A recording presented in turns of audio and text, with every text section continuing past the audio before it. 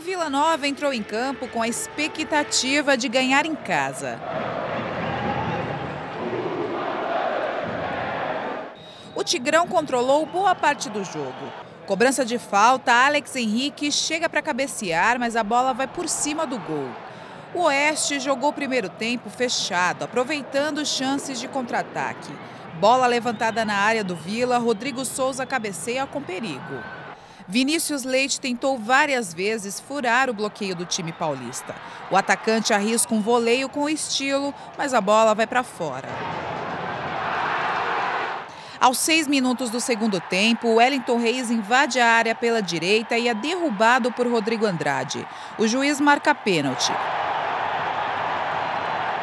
Alan Mineiro faz a cobrança e abre o placar para o Vila.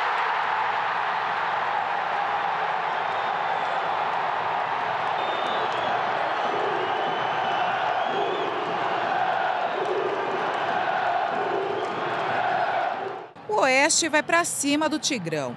Daniel Borges finaliza e a bola passa perto do gol.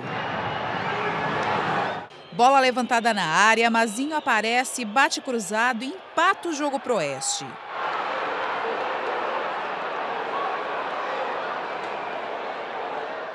O jogo fica movimentado no Serra Dourada. Oeste quase vira a partida. Matheus Pazinato faz boas defesas.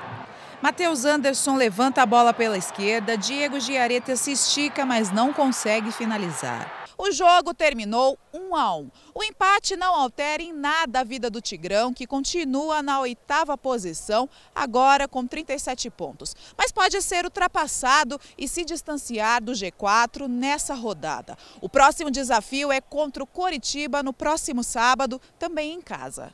Não jogamos aqui a, a toalha não, né? Faltam 13 rodadas.